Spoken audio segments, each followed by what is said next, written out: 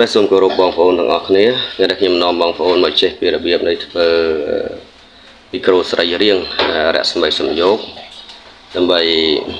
ដាក់ដំណាំដាក់ជី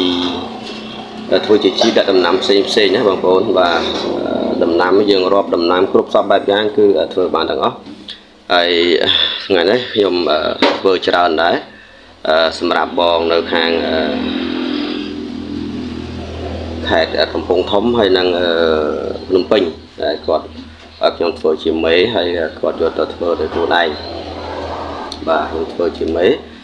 ហើយសម្រាប់រូបមន្តនេះគឺវាមានច្រើនបន្តិចដែរសិតតែជាកំពូលវីតាមីនបាទល្អល្អសម្រាប់យើងប្រើប្រាស់ទៅលើដំណាំយើងហើយវាមិនខូចសុខភាពទេហើយអត្ថប្រយោជន៍ខ្ញុំនិយាយនៅខាងក្បាលវីដេអូរួចម្ដងហើយបងប្អូនណាបាទអញ្ចឹងមិននិយាយច្រើនទេហើយ អ្វីដែលបងប្អូនត្រូវត្រៀមគឺបងប្អូនត្រៀមពីដងម៉ួយមកបាទពីដងកតេចេះសម្រាប់យើងទៅលាយថ្នាំលាយវត្ថុធាតុដើមអឺហ្នឹងហើយមួយចឹងមកអឺវត្ថុធាតុដើមទី1គឺកាពិបងប្អូនស្គាល់កាពិបាទកាពិលិនធ្ងុយណាបាទហើយអឺទី2នោះគឺទឹកដោះគោបាទទឹកដោះគោកូនក្មេងណា បងប្អូនអត់ដាក់ទឹកដោះគោដាក់យ៉ាអ៊ូអីក៏បានដែរ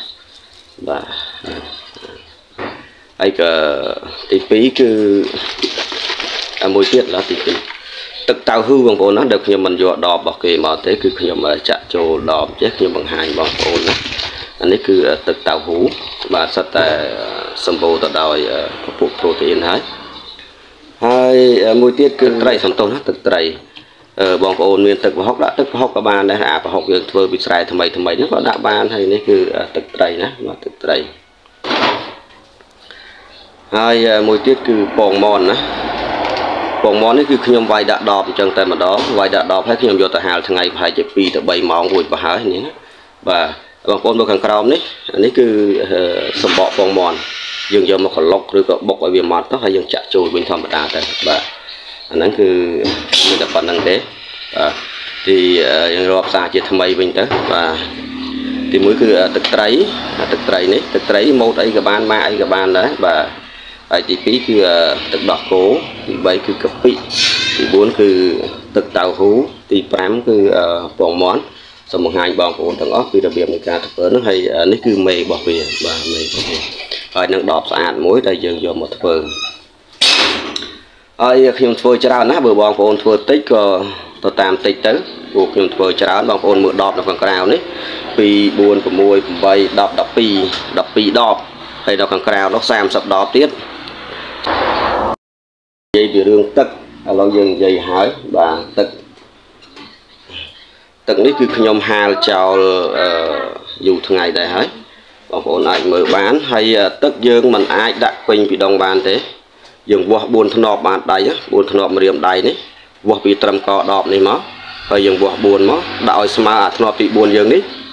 ហ្នឹងបាទដាក់ឲ្យស្មើហ្នឹងមកយើងវាស់4ធ្នប់មកដើម្បីកុំឲ្យវានេះតែកាលណាយើងយើងដាក់ពេញដបទៅវាក្លុកវាគះគះវាផ្ទុះបាទអញ្ចឹងយើងដាក់ស្មើប៉ុណ្ណឹងទៅហើយអឺ យើងក្លុករាល់ថ្ងៃក្លុកទៅវាស្រួលអញ្ចឹងយើងទៅមើលរបៀបលាយគ្រឿងវត្ថុធាតុផ្សំទាំងអស់នេះបងប្អូនដាក់អ្វីមុនក៏បានដែរអត់ជាបញ្ហាទេមិនសម្គាល់ថាតើដាក់នេះដាក់នោះមុនអត់ទេដាក់មួយមុខណាមុនក៏បានដែរភ្លេចមួយមុខទៀតបងប្អូនណាមិញភ្លេចមួយមុខជាស្រ័យគឺប៊ីចេងប៊ីចេងប៊ីចេងប៊ីចេងស្អីក៏បានដែរមិនអឺ សម្គាល់តែប៊ីចេងហ្នឹងទេខ្ញុំគាត់បង្ហាញបងប្អូនថាហ្នឹងជាប៊ីចេងណាបាទអាកំប៉ុងនេះណាបាទគឺប៊ីចេងបងប្អូនយកប៊ីចេងណាក៏យកមកធ្វើក៏យកបាទអត់ជាបញ្ហាអីទេបាទមកខាតពេលយូរយើងទៅលាយវត្ថុធាតុផ្សំទាំងអស់ហ្នឹងតែម្ដងបាទអរគុណ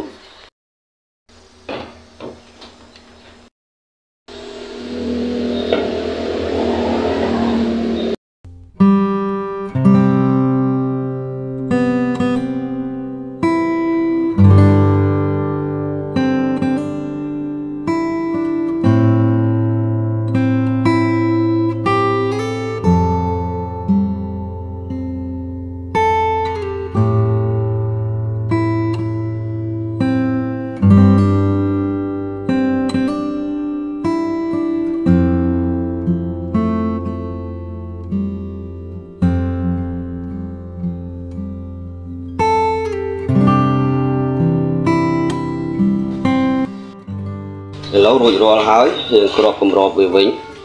បន្ទាប់ពីគ្របគម្របវាបងប្អូនគ្របវាឲ្យជិតណាគ្របឲ្យជិតហើយក៏ឡុកក៏ឡុកវាឲ្យយូរទៅតាមដែលអាចធ្វើបានបាទដើម្បីឲ្យវត្ថុធាតុទាំងអស់ហ្នឹងវារលាយចូលគ្នាណាបាទដើម្បីឲ្យវារលាយចូលគ្នាសព្វល្អទាំងអស់អាហ្នឹងចាំយើងចាក់ចូលពីដងហើយសម្រាប់ទឹកនេះគឺយើងចាំដាក់តាមក្រោយដាក់ចូលអានេះតែម្ដង ឡូវរួចរាល់ហើយយើងយកទៅចាក់វាចូលដបទាំងអស់នេះតែម្ដងណាបាទ